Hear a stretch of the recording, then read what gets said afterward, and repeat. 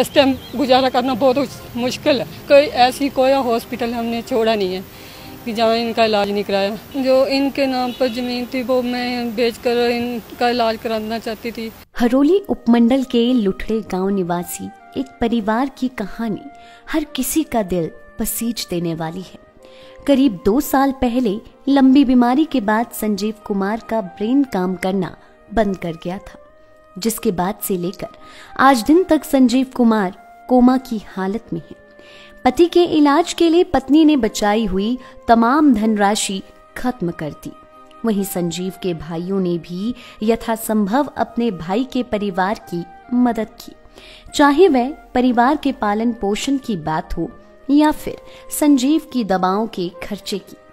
लेकिन अब उनके भी हाथ खड़े हो गए हैं। ऐसी परिस्थिति में अब मोनिका ने अपने पति के इलाज के लिए ज़मीन जायदाद को बेचने का फैसला लिया तो इन परिस्थितियों में भी कानून आड़े आ गया और अब उसने पति के नाम वाली ज़मीन बेचने के लिए कोर्ट का दरवाज़ा खटखटाया है। ऐसा नहीं है कि इस परिवार ने सरकार से मदद नहीं मांगी। सरकार को परिवार ने लाखों रुपए के बिल भेजे हैं, लेकिन अभी तक इस परिवार को मात्र पंद्रह हज़ार रुपए की आर्थिक मदद ही सरकार की तरफ़ से मिली है। वहीं लंबी जदोजहद के बाद संजीव को इस माह से ही दो हज़ार रुपए की पेंशन भी शुरू हो गई है। लेकिन संजीव के इलाज पर हर माह हज़ारों का खर्चा होने और परिवार के पालन पोषण करने के लिए दो हज़ार रुपए कहाँ तक मददगार साबित होंगे? अब थक हार कर संजीव की पत्नी मोनिका ने डीसी ऑफ़िस ऊना में पहुंचकर डीसी राघव शर्मा के आगे भी फरियाद लगाई है और डीसी ऊना ने मोनिका को हर संभव मदद का आश्वासन दिया है। मोनिका ने अपना दुखड़ा सुनाते हुए बताया कि किस तरह से उनके परिवार पर दुखों का पहाड़ टूटा है और सरकार की तरफ़ से मदद के नाम पर सिर्फ़ पंद्रह हज़ार रूपए ही उन्हें मिले हैं। तीन, दो साल से वो कोमा में है। उनका ब्रेन डैमेज हो चुका है। पहले तो वो डिप्रेशन में चले गए थे। तो बहुत इलाज कराया, क्योंकि बीमारी को लेकर ही खुद ही बोलते रहते थे कि मेरे को कोई बीमारी लग गई है, कुछ हो गया है, मेरी बीमारी का कोई इलाज नहीं है। फिर धीरे धीरे बहुत इलाज कराते, पैसा भी बहुत लगा दिया हमने P G I D M C कोई ऐसी कोई हॉस्पिटल हमने छोड़ा नहीं है कि जहाँ इनका इलाज नहीं कराया। फिर भी ये ठीक नहीं हुए, इनमें ये डिप्रेशन भी चल गया। इनका दिमाग भी डैमेज हो चुका है।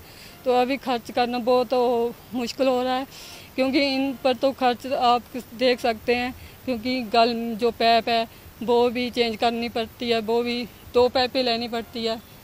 तो वो भी चौबीस सौ की आती है, पंद्रह दिनों बाद पैप की चेंज करनी, गाड़ी का एंबुलेंस ड्राइवर वगैरह खर्च तो ये भी बहुत है, बच्चे हैं घर का खर्च कैसे करना है? ये तो हमारी फैमिली अच्छी थी जो अभी भी सपोर्ट कर रही है पर इस टाइम गुजारा करना बहुत मुश्किल है। निस्कार की तरफ़ से अभी तक तो कोई मदद नहीं मिली। इस महीने दो हज़ार पेंशन लगी है इनको तो, तो उससे भी क्या बनता है? आप सोच सक गुजारा तो बहुत मुश्किल है। वो जो रिश्तेदार है सभी भाई जेठ जेठ सभी हेल्प कर रहे हैं। पर अभी तो उनका भी हाथ खड़े हो गए क्योंकि इतने साल हो गए।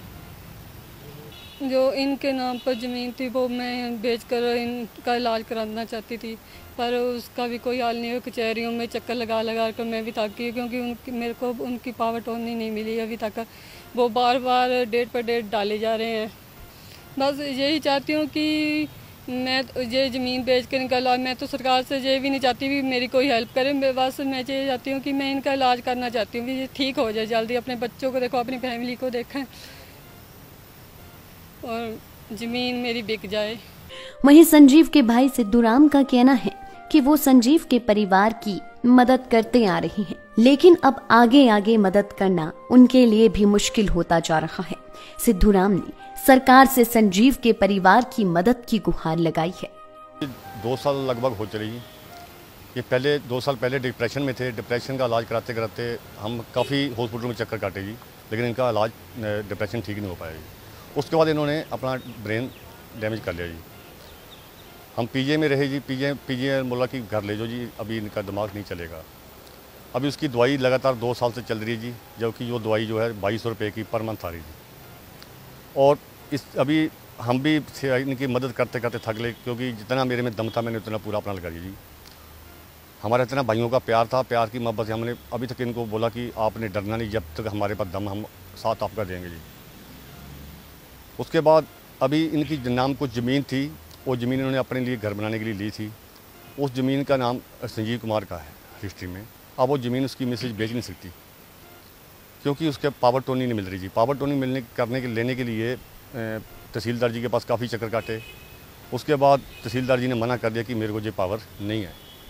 फिर हमने अभी कोर्ट में केस किया हुआ। कोर्ट का केस अभी चल रहा है, अभी तक वो भी पावर टर्निंग नहीं मिली। तो इनका लिए खर्च करना बहुत मुश्किल है, जबकि इनके लिए बच्चे भी छोटे हैं। उसके बाद बच्चे की जो बाजू टूट गई है, उसको भी पैसा लगा जी। लेकिन अभी इनका घर का खर्चा करना बहुत मुश्किल हो रहा है जी। गवर्नमेंट की तरफ़ से इनको जो मदद मिली है, जो बिल थे, हमने पी के बिल दिए थे लगभग साठ हज़ार के, राम कुमार जी के पास। तो उन्होंने हमारे को पंद्रह हज़ार रुपया चेक दिया उसके बाद हमने डेढ़ लाख के बिल दे रखे हैं सत्ती जी के पास। अभी उसका कोई हमारे को अभी तक नहीं आया। और लगभग उसको साल डेढ़ साल हो गया जी बिल दिए हुए उसका भी कोई पैसा नहीं मिला जी। पेंशन इनको सहारा से दो दो हज़ार रुपये की लगी है जी। सरकार से क्या मांग रही है? सहार से हम ये कह रहे हैं हम सरकार के साथ है जी। जो सरकार हम इसकी इनके घर की स्थिति को देखते हुए इनको मदद ज़्यादा से ज़्यादा मदद मिलनी चाहिए। लाइफ टाइम्स टीवी के लिए ऊना से अमित शर्मा की रिपोर्ट। सिरमौर और किन्नौर में चाहिए। Sales executive, service executive, field executive, motor mechanic और ड्राइवर, शानदार करियर संभावनाएँ व इंडस्ट्री में बेहतरीन सैलरी पैकेज। तो आज ही कॉल करें nine four one eight zero three five three seven two पर और ईमेल से भेजिए अपना biodata H R at the rate Goyal motor dot com आरोप